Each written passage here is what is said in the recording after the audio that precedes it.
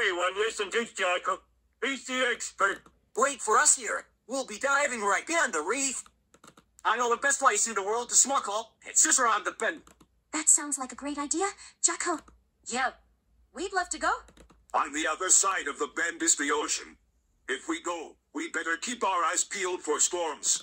what's wrong, guys? Don't you want to catch the best snorkeling? Don't you think we should wait here, like Mr. Hugo and Mr. Hogwash said? Yeah, I don't think they want us to go cruising without them.